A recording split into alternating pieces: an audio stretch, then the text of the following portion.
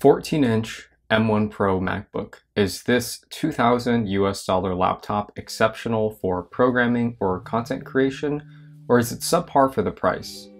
In this video, I'll be doing an unboxing and giving you my initial impressions from a software engineering perspective after using this laptop for about a week. Hey there everyone, welcome back to the channel. If you're new here, my name's Pete and I'm a professional software engineer. And on this channel, we talk about anything related to tech and software engineering. And in this video, we'll be talking about the 14-inch M1 Pro MacBook. So here it is, the 14-inch M1 Pro MacBook. This is the base model, which comes in at 2000 US dollars.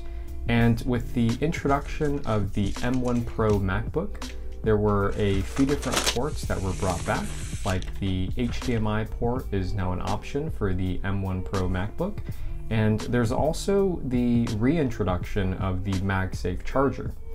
I really like the MagSafe charger because with my existing MacBook Pro, which uses the USB Type-C charger, whenever I would trip over the charger, that laptop always went flying.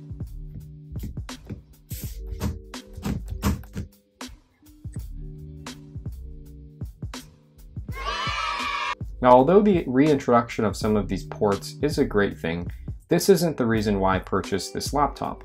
I purchased this base model because I wanted to see how it would perform for some of my needs. Working as a software engineer, I need a laptop which can handle the environments as well as the tools that I use concurrently.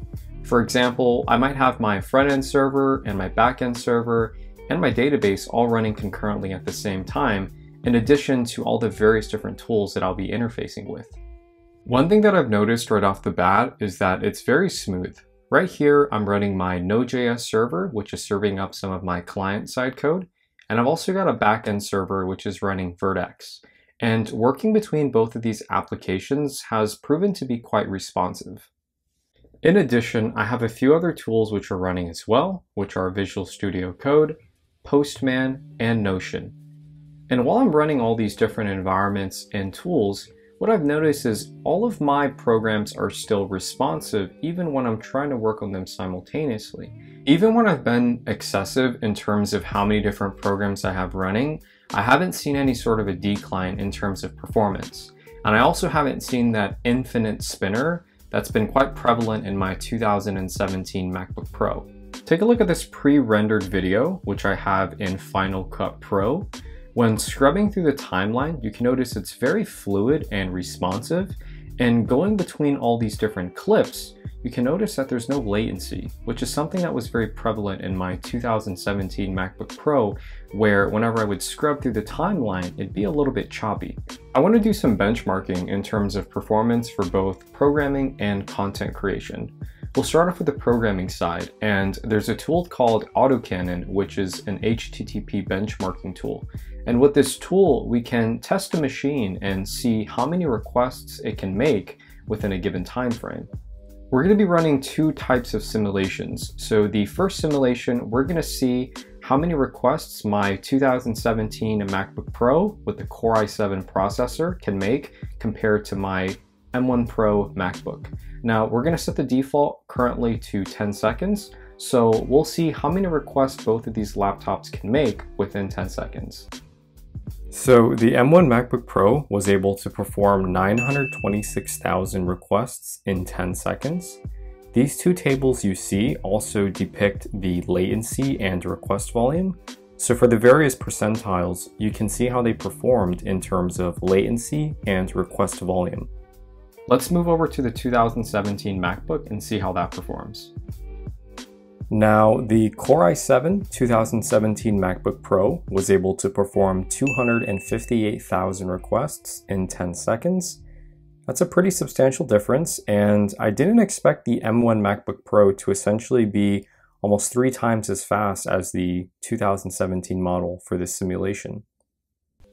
So for the second simulation, what we're going to do is we're now going to bump up the requests to 1 million requests. And we're going to see how long it takes for the 2017 MacBook to complete 1 million requests compared to the M1 Pro MacBook. After running the test, the M1 MacBook Pro was able to make 1 million requests in 12.01 seconds, and the 2017 MacBook Pro was able to perform 1 million requests in 39 seconds. That is a substantial difference again.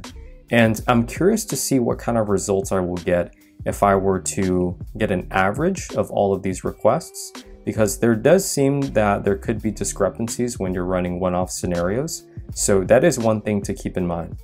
The final simulation, I want to test how long it takes to export a video in Final Cut Pro. Now this video was recorded in 4K, 24 frames per second with Dolby Vision, and we're going to see how long it takes to export this video for both the M1 Pro and the 2017 MacBook Pro.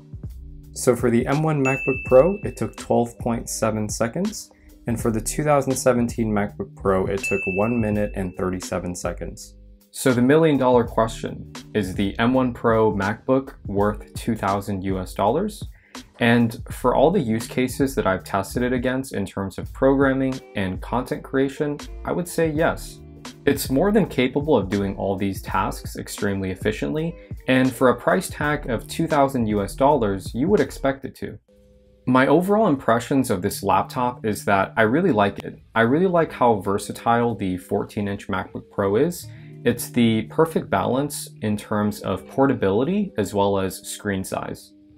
In addition, with the reintroduction of the ports like the HDMI port, the SD card reader, and the MagSafe charger, these are all pluses from my perspective as well, and I've had the opportunity to use all of them and not having to carry around all these other peripherals to use these ports have also been very handy.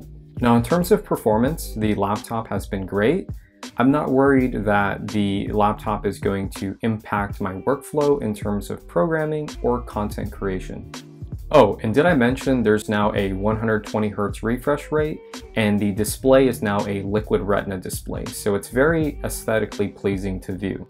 Overall, I'm really impressed with this laptop and I'm really excited to do all of my future projects in terms of programming and content creation on this machine.